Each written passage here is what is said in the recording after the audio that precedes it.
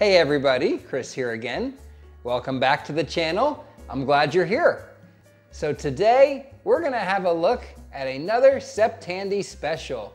It's currently the month of September and during that month, content creators, old and new, get together to create Septandy videos. So that's what today's focus is going to be, my second Septandy 2021 video. Today we're going to look at this Tandy 1000 HX in much depth. We're going to look at the hardware, the base components of the system. From there we're going to have a look at some of the peripherals, as well as some modern add-ons that you can add to this machine. We'll also look at expansion and also go ahead and power on the system and look at some programs. From there, I'm going to show you the Setup HX utility that you can use to program your Tandy 1000 HX. And we'll go ahead and take things to that point and we'll wrap things up. So without further ado, let's get to it. So here we have a fairly common setup for the 1000 HX and EX. You can see that the way I have this set up here is that we do have the monitor on top of the base and nothing in between. This is not what I consider to be an ideal setup. We're best off having something in between.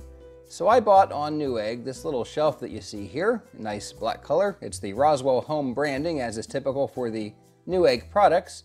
We can go ahead and rotate this and then take the monitor and put it on top of the HX.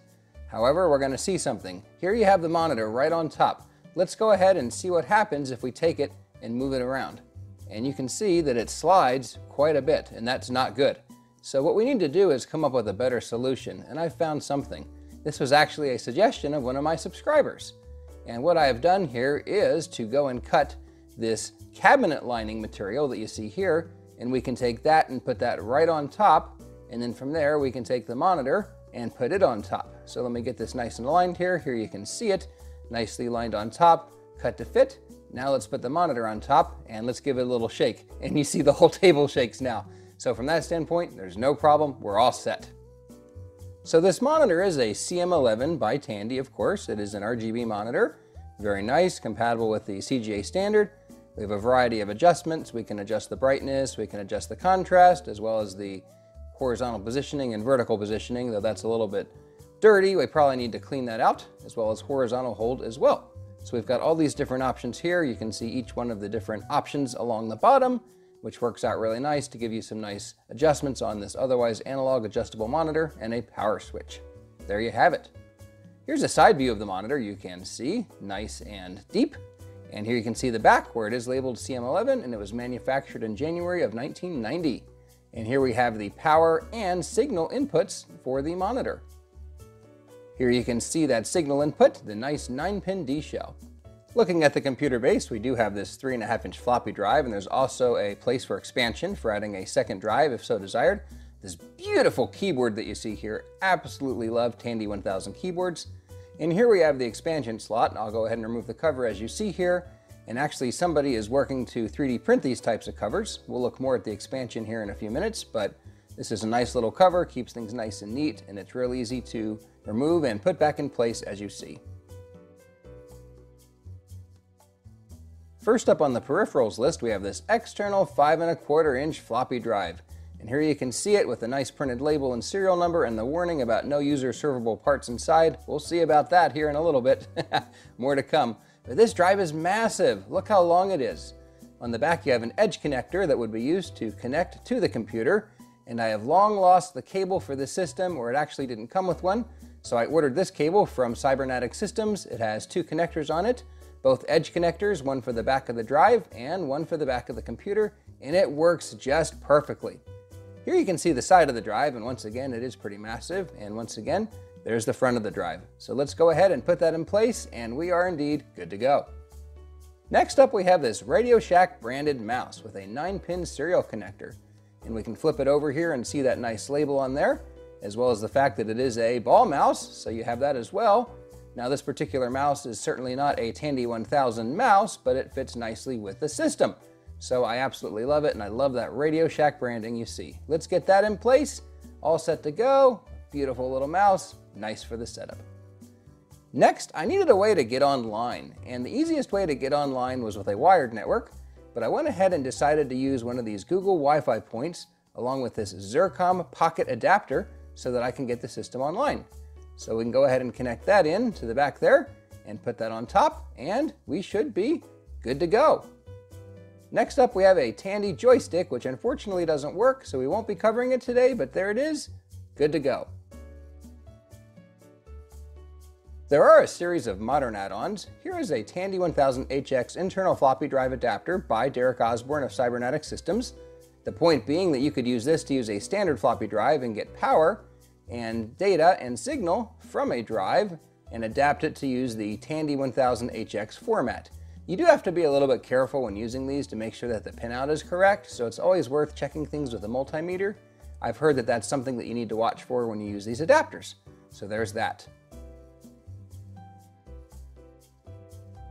I also have a Gotek connector from Cybernetic Systems by Derek Osborn. And this is a nice little device, though I haven't tried it. I do have a Gotek, I just haven't had a need because I use networking for most things. But you've got your different inputs on either side for the floppy drive, so that's good there. More directions on the Cybernetic Systems Tandy page on how to use this. I actually haven't looked into it, but it looks like a nice piece of tech if you want to connect a Gotek to your Tandy 1000 HX. Next up, we have the Smartwatch Plus by Cybernetic Systems. Battery goes here, your existing ROM chip goes here, and a clock chip is here. And if we flip this over, we can see that this will plug into your ROM socket. And basically this rides on top, giving you Smartwatch Plus capabilities for your Tandy 1000 system. Pretty cool piece of tech. I absolutely love having this in the system. Next we have a Tandy 3-in-1 card by Robert Krenicki. This particular card does have an RS-232, slot, as well as a compact flash slot and a very nice mounting bracket. I absolutely love this card. I don't particularly use it in the system, but I have it ready to go on standby. And there you can see the branding by Robert. Looking at expansion on the back, you can see we have our cooling fan for the 1000HX, as well as a parallel card that I have put in, and two serial headers.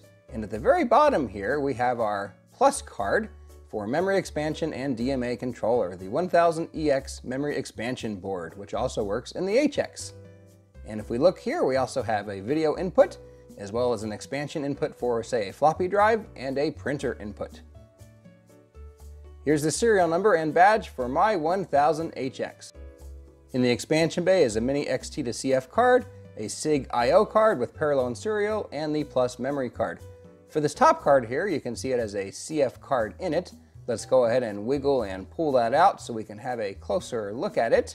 Once I get this out here, these plus adapters can be a little difficult to get out from time to time. And here you can see it, that XT to CF mini card and a plus adapter to adapt it to ISA. We can go ahead and pull this out and you will see that it's a standard 8-bit ISA card. Pretty cool. So from there, let's go ahead and put it back together and it'll be ready to put back in the system. We'll set that aside for just a minute and have a look at the I.O. card which is in the system. And this is essentially an 8-bit SIG I.O. card with parallel and serial headers. So let's go ahead and pop that out and have a closer look at it. And here we can see it. Let me go ahead and disconnect those serial headers there so we can have a closer look. And there it is, your standard card, if you will. This particular model works particularly well in the HX. And I do have my plus card adapter connected in as well. Absolutely love this. This does the job just perfectly. Next, we'll remove the 9-pin serial headers, and they're pretty standard as you can see here. I'll go ahead and point out some features. Here are the header connectors themselves, and I'm very proud of the bracket that I've put together that we'll look at here in just a minute. Notice I've taken a standard ISA bracket and flattened it out and drilled holes in it so that it works in the HX. It's not pretty, but it gets the job done, and from the outside it looks good. And of course here is the memory expansion card with the two headers for connecting the other two plus cards. Here's the first one, and here's the second one. All right, let's go ahead and get this removed. So two screws, and we're out. We can wiggle this back and forth to get it to pop out here. Very nice looking card. Absolutely love the aesthetics of it, as you will see here momentarily. Look at that. You've got your plus headers once again, as well as up at the top there, we've got lots of memory expansion, as you can see here and a nice VLSI chip for DMA and or other functions, and our two headers as well for the plus connections. Very nice card and a proper edge connector, unlike my other cards where I butchered them, but this works well. And finally, we do have that smartwatch plus in here. You can see it hiding in the back here. Just wanted to point that out as well. So next we'll put Robert Krenicki's card in the system. You can see how that gets situated nice. It's real easy to install. Love it. And you can see that it's in the second slot and that the top slot is completely empty and the bottom slot is empty. So that is one thing about this card is it is going to go into that slot. So if you wanted to do other expansion, for example, if you wanted to add two serial ports like I did, you can't do it. And additionally, if you wanted to add, say, a parallel port, you also cannot do it. So that's just something to keep in mind. So here we are powering on memory size of 640K as you can see here. The system's gonna go ahead and boot through the boot process.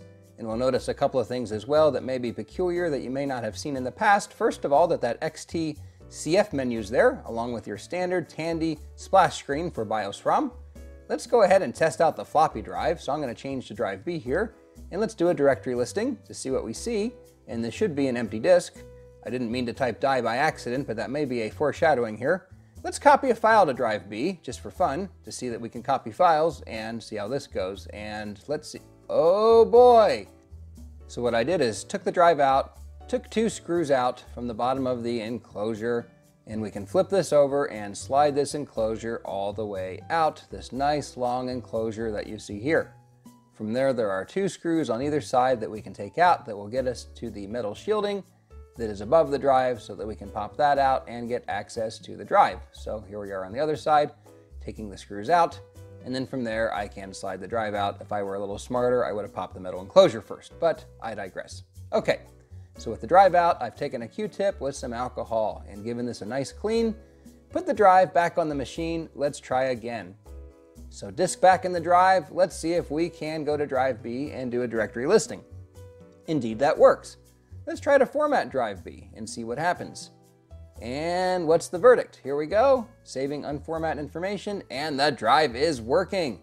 So it just needed a little cleaning. That can happen from time to time. We'll call that good. Let's go ahead and explore drive A as well, and we do have a floppy disk in there, and we can see there are some files, and that works well. So that's pretty cool as well. I can type out autoexec bat, and we can see the contents of my autoexec bat on drive A.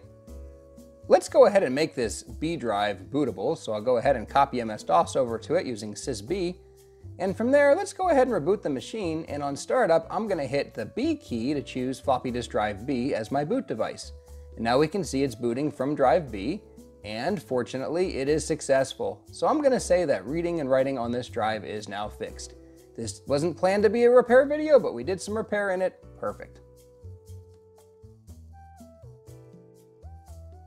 Let's go ahead and load up some programs. And the first one I thought I would load is to try and do a ping to my website, uh, which is lenderman.com, or at least one of them. And you can see here that doing ping seems to work well using Michael Brutman's MTCP.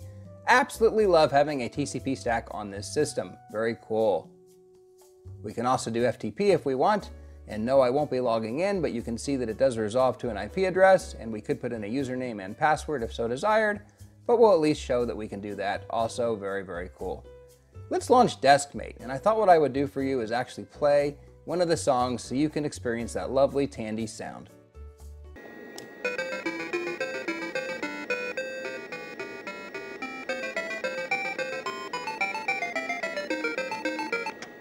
I'll also load up Monopoly so that we can see that play and listen to the nice sound effects and view the nice Tandy graphics for this particular game.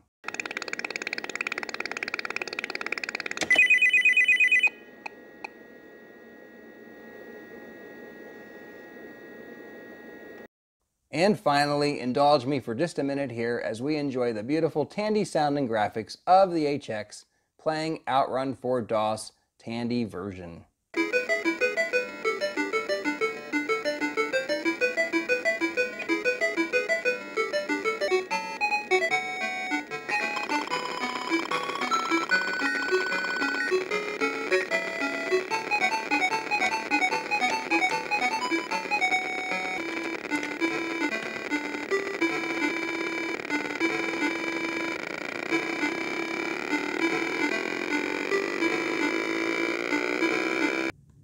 Finally, I thought I would launch Notepad under Windows 3.0 just to see what that looks like.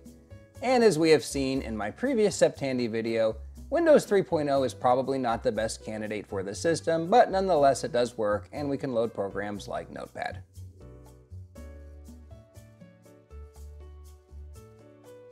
Next, I wanted to take a few minutes and talk about the Setup HX program, which is a program that you can use to configure EEPROM settings for your 1000HX.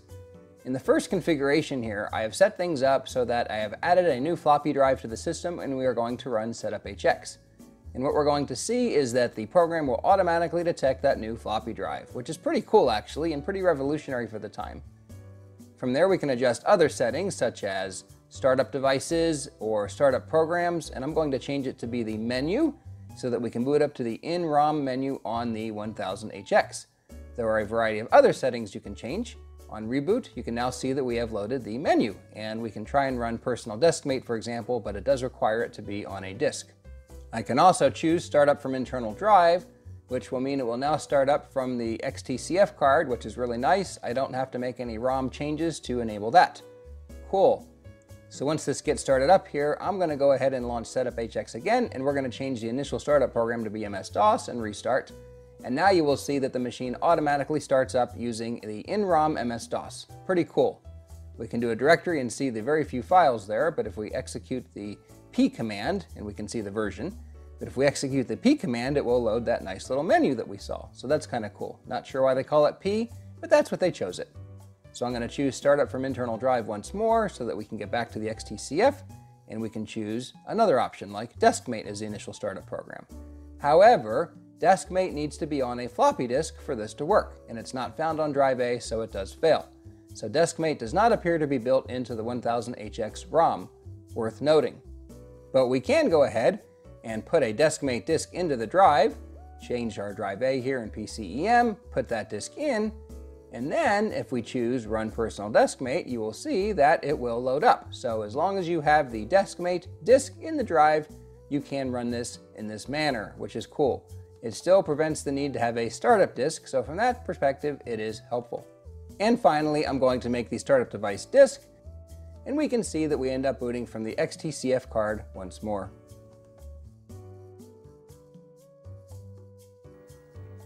Okay, that's what I had for you today. Hope you enjoyed it. Definitely be sure to check out other videos on YouTube tagged with Septandy or Septandy 2021. Other content creators out there making September videos for Tandy. Definitely subscribe to my channel if you liked what you saw today and you're not subscribed. We'd love to have you. Ring that notification bell. You'll be notified when new content is available. If you liked what you saw today, please give me a thumbs up if not, consider sending me a strong message by pressing that thumbs down button twice. In all cases, it's been great having you along for the retro journey today, and I look forward to seeing you next time. But until then, bye for now.